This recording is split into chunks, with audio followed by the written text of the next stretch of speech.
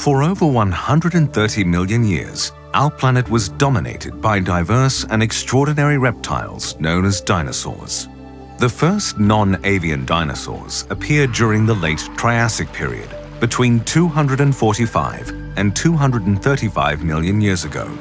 Diverging from early reptiles, dinosaurs diversified during the Jurassic and Cretaceous periods, bringing about hundreds of unique species, including some of the most enormous monsters to ever walk the Earth. But other strange and fascinating animals lived on our planet long before the dawn of the dinosaurs.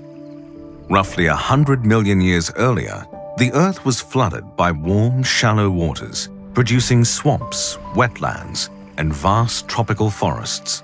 These rich, highly oxygenized ecosystems were home to the gigantic relatives of modern arthropods. Bird-sized dragonflies swooped down from the skies, capturing small insects in their spiny legs. Prehistoric millipedes, as long as small cars, crawled through swampy underbrush, possibly snacking on club moss and sporophylls. Some of the largest arthropods were eurypterids, or sea scorpions. The earliest eurypterids probably lived in the ocean, using their wide appendages to gracefully navigate the salty shallows. Over time, Eurypterids adapted to fresh and brackish waters in marshes and river deltas. There, giant species swelled to over 2 meters long. The largest was Jaekelopterus, an agile and powerful hunter that crushed its prey in its oversized claws. Living alongside giant arthropods, amphibians were some of the first vertebrates with legs adapted to walking on land. Back then, one of the most populous amphibians was Diplocaulus, a salamander-like animal with a distinct boomerang-shaped skull.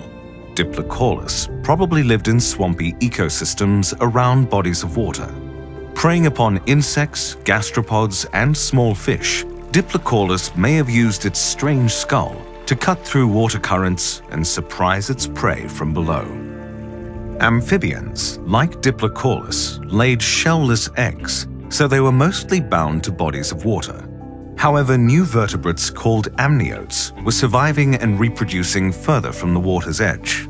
The evolution of hard-shelled amniotic eggs allowed amniotes to explore and populate a diverse world of terrestrial flora.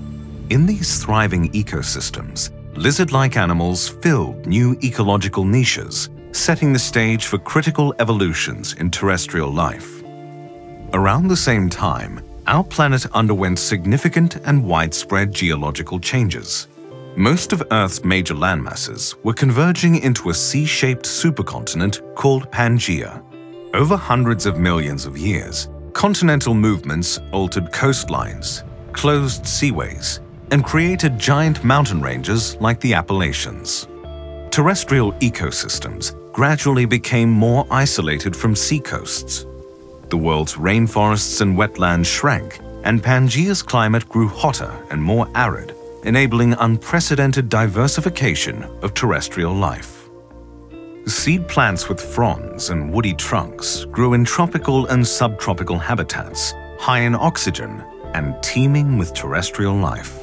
The early relatives of grasshoppers, crickets, and locusts bounded between branches and hanging vines.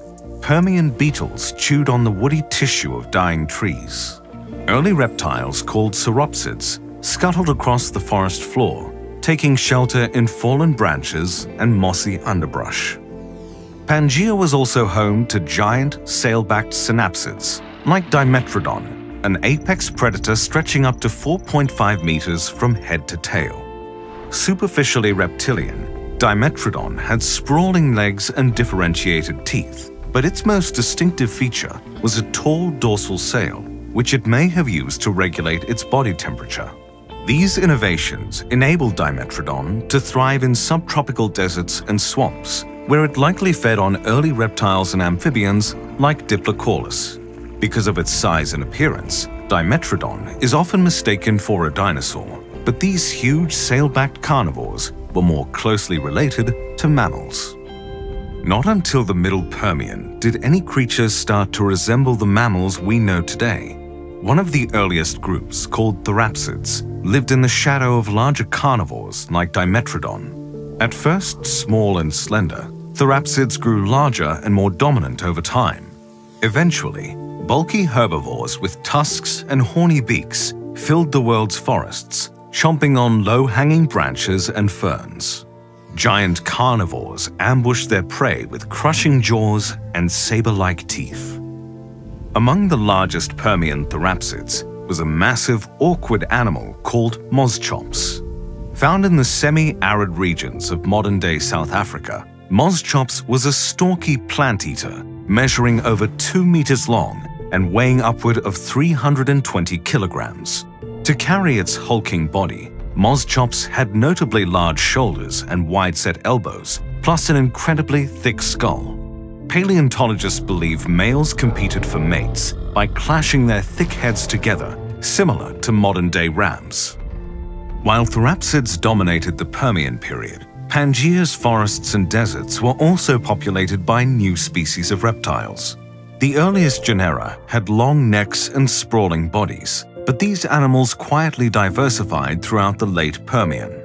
Early reptiles may have struggled to compete with therapsids like Dicynodonts and Gorgonopsians, leading some species to become highly specialized. Weigeltisaurids evolved wing-like membranes that allowed them to fly between trees and potentially snatch insects out of the air. Semi-aquatic reptiles like Claudiosaurus found their ecological niches underwater. Evolving webbed feet and an undulating body these reptiles lived among spiny fishes, conodonts, and even the relatives of true sharks. Before the end Permian boundary, another significant group of vertebrates emerged in the arid regions of Pangaea. Known as cynodonts, these advanced creatures had differentiated teeth, secondary palates, and primitive endothermic metabolisms, which made them highly adaptable to different environments. The earliest known cynodont was Procynosuchus, a semi-aquatic genus found in modern-day Germany and parts of Africa. Paleontologists hypothesize that Procynosuchus lived a lot like today's otters. Using its long tail like a motor, it was likely a strong, agile swimmer, able to chase small fish through tangles of aquatic plants. After catching its dinner, Procynosuchus returned to dry land, where it may have rested and tended to its young. But the world in which Procynosuchus lived was steadily approaching one of the greatest disasters in Earth's history. About 252 million years ago, near the end Permian boundary, our planet experienced a prolonged mass extinction known as the Permian Triassic, or PT extinction event. Over hundreds of thousands, possibly millions of years, the PT extinction event eradicated roughly 95% of marine species 70% of terrestrial vertebrates, and entire orders of insects, making it the largest extinction event of all time. The exact cause of the PT extinction event remains unknown, though it was almost certainly influenced by major volcanic eruptions around the Siberian Traps. Years of intense volcanic activity likely flooded the atmosphere with carbon dioxide, raising surface and ocean temperatures to inhospitable extremes acid rain may have poured down on the surface as wildfires raged through dry forests and subtropical deserts. The Siberian traps probably launched enough debris into the atmosphere to block out the sun and immerse the world in darkness, thus starving many species that relied on sunlight to survive. In this dark, scorching world, Many shallow water ecosystems collapsed due to catastrophic losses of aquatic plants, corals, and echinoderms. Certain marine animals, like eurypterids and trilobites, disappeared completely. Even those groups that survived, like bony fishes and brachiopods, were pushed to the brink.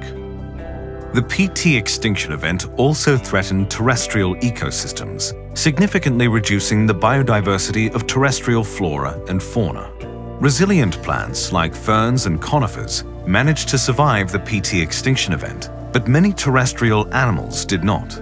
Sail-backed synapsids, saber-toothed gorgonopsians, and some heavy herbivores like moschops vanished from the fossil record. Only a few resilient synapsids crossed the end Permian boundary by adapting to the harsh conditions of the very early Triassic. Pangaea at that time was impoverished and volatile, though not entirely different from the late Permian. After the PT extinction event, the climate was likely warmer and drier, with hot summers and cold winters. Vast rainless deserts and open prairies stretched across the dry equatorial regions of Pangaea. At northern latitudes, sprawling forests were populated by shrubs, woody vines, and tall conifer trees. In these familiar biomes, therapsids were by far the most common terrestrial vertebrates. Herbivorous dicynodonts like Lystrosaurus grazed on shrubs and underbrush, while smaller cynodonts burrowed into the ground, protecting their young from the planet's more volatile climate. Beyond the early Triassic, therapsid populations began to decline, and reptiles gradually dominated the land, air, and sea. Marine predators like nothosaurs and armored placodonts ruled oceanic ecosystems. Meanwhile, terrestrial reptiles became increasingly numerous and diverse. Soon, all kinds of strange and fascinating creatures walked the earth. Some had necks as long as their entire bodies. Others had humongous heads and bone-crushing jaws. These odd creatures ushered in a new age of reptilian dominance, beginning with the emergence of the first true dinosaurs.